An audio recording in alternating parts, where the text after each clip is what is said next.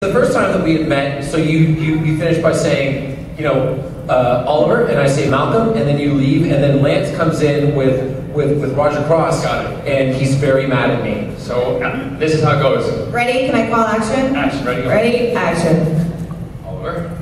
Malcolm?